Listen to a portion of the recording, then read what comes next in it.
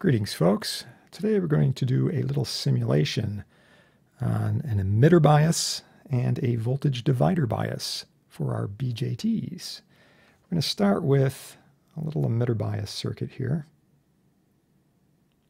And what we see is our transistor. I've got a 2N3904, negative 5 volt power supply, 15 on the collector, fairly standard resistor sizes here. And I've also connected a voltmeter across the collector emitter so we can directly read the collector emitter voltage. And here are the calculations, standard calculations we would use. So here is the formula we would use for collector current. This is our exact equation. Plugging the values in here, 5 volts for the power supply.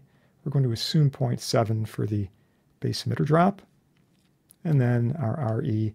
And for this 04 transistor, um, we're going to assume a beta of 150, which would be typical for this particular operation point. Um, you know, the precise value might be a little higher, might be a little lower, but 150 would be a good place to start. So we grind through there and we get uh, about 1.93 milliamps of current. Then using that current and our beta, we can figure out the base current, about 12.9 microamps. And then using that, we can determine the uh, base voltage, we see that's about uh, negative 46 millivolts, small negative voltage. Remember the base current's coming in like this. And then the emitter voltage, we simply take that base voltage, subtract the assumed 0.7, and we get about negative 3 quarters of a volt. Now we can take the original current that we calculated, use Ohm's law to find the drop on the collector resistor, and that gives us about 9.66 volts, right? Subtract that from the power supply and we'll get VC, in other words, the voltage from collector to ground. And we can see that's uh, about five and a third volts. And finally, if we take the difference between VC and VE, we'll get VCE, a little over six volts. All right, so let's do a, a little simulation here. To do a DC analysis. And right off the bat, we'll check some voltages. All right, so we can see our collector voltage, 5.33, so that checks really nice. We've got a negative 42.7, which is pretty darn close to our VB. Because this is a little smaller, that would indicate that the current, the base current's a little smaller. So maybe our beta was a little bigger than 150. Maybe it's 170 or something like that. You know, 165, whatever it works out to. Um, as we continue along, the uh, emitter voltage, uh, 0.72 volts, negative, so that's pretty close. And, uh, you know, chances are here, the 0.7 that we assumed is probably a little bit off on this transistor model. It's probably about 0.68 or so, so that would compensate. And finally, our collector emitter voltage we can see is um, smidge over 6, which is what we're seeing here. And if we um, and just click on here to check the current. There's our 1.933, so that checks out perfectly. And our base current, 11.87 mics instead of 12.89. So in fact, our assumption of the beta, this 150 is probably a little bit low. You know, like I said, it's probably maybe 165 or, you know, something um, in that range.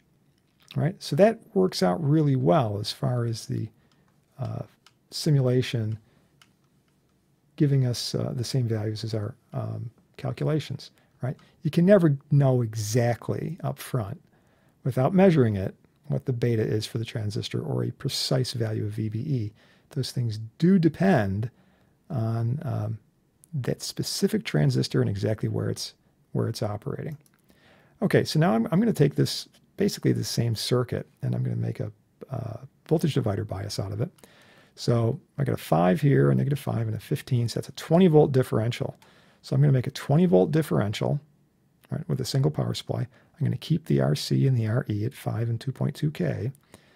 And because this is a 5 volt differential basically going up to the base, I'm going to set a voltage divider to give me about 5 volts on the base. And I'll try to make a Thevenin resistance that's you know, pretty close to this 3 and change.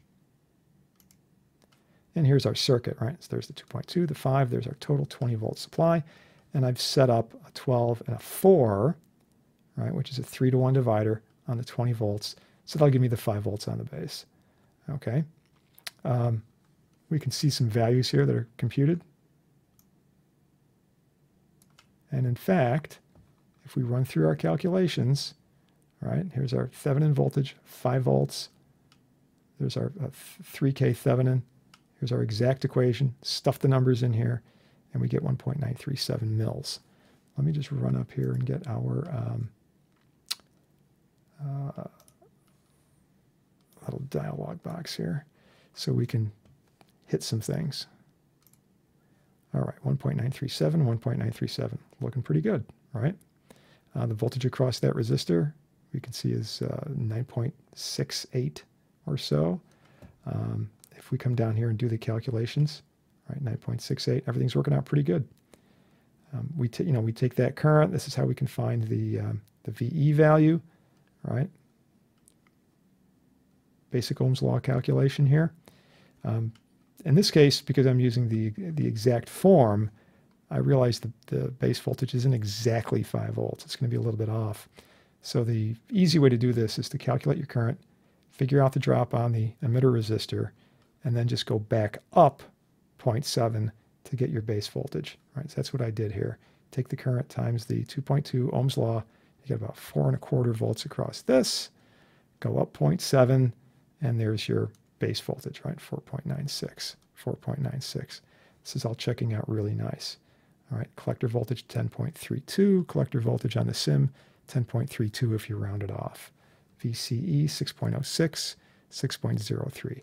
Again, we don't know exactly what the beta is. You know, it's probably again closer to 165. The VBE isn't going to be precisely 0.7. Um, and those little variations will come in. If we chose a different transistor, we'd probably get slightly different values. But this does verify the values that um, we generate from these equations. So these are nice, accurate equations. They work well, and that's really what we want, something that is predictable. There you have it.